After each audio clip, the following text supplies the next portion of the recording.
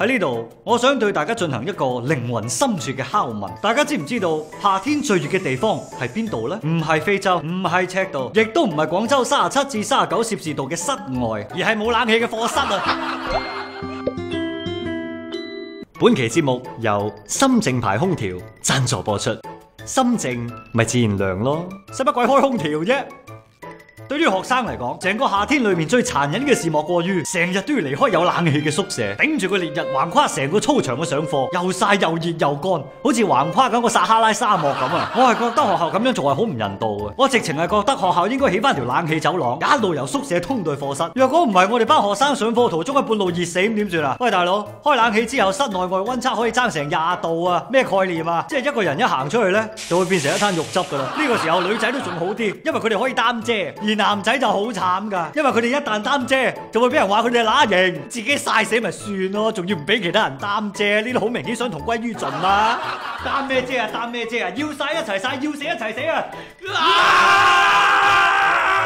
不過等你到咗課室，真正嘅考驗先啱啱開始。你唔好忘記呢間課室係冇空調嘅，咁大個空間，得嗰幾個窗，跟住入面逼咗一大班識得自己發熱嘅生物喺度。你有冇聯想起啲乜嘢啊？蒸籠啊！間課室喺度蒸緊我哋啊！而個事實係成班人都喺度搏命出緊汗，搞到個空氣濕度鬼咁高，好似真係蒸緊啲乜嘢咁。我都未入間課室咋，我就已經感受到嗰啲夾帶住汗味嘅熱浪係咁撲過嚟啊。喺嗰一刻，你嘅求生意志會叫你唔好行入去，跟住你個班主任仲會一腳伸你入去。啊！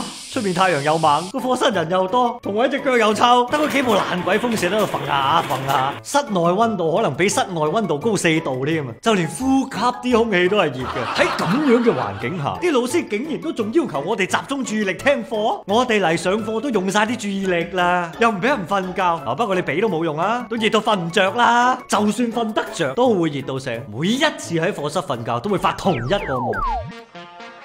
師傅，我哋到咗火焰山啦！同埋，我永遠都唔明白一件事：課室唔裝冷氣，但係教師辦公室裝咗噶噃。點解啊？老師改試卷啲運動量特別大，所以要裝冷氣降溫啊！不過好彩，你有張良計，我有過牆梯。比如話，經常喺老師辦公室門口散步咯。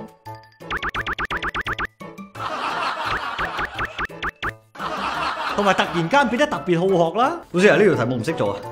呢條題目好簡單，你上課冇聽咩？首先咧，你要寫個解字喺度。啊，好，寫寫寫。老師啊，呢首詩我唔識啊，幫我解釋下。呢首詩啱上課咪講過咯，咁快又唔記得？係啊，我蠢啊嘛。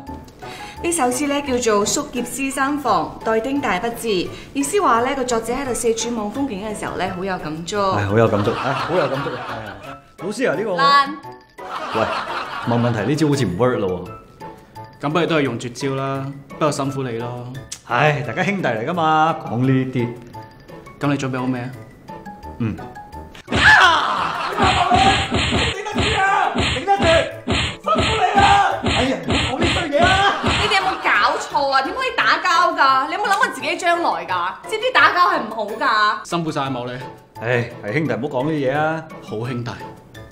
課室點解唔裝空調？呢個問題過咗咁多年，都依然令到廣大嘅學生非常困擾。咁當然，我哋做學生嘅都知道，課室嘅冷氣唔係話裝就裝嘅，係要涉及到好多問題嘅。我明白，而我都相信，隨住社會嘅發展，呢啲問題都會得到解決，學生嘅學習環境亦都會大大咁改善。所以依家課室都未裝冷氣嘅同學，你哋千祈唔好灰心啊！總有一日，我哋廣東嘅課室一定會全部裝晒冷氣。吓、你問我你間課室幾時裝？Well，根據我嘅經驗咧，一般嚟講，你畢咗業之後就。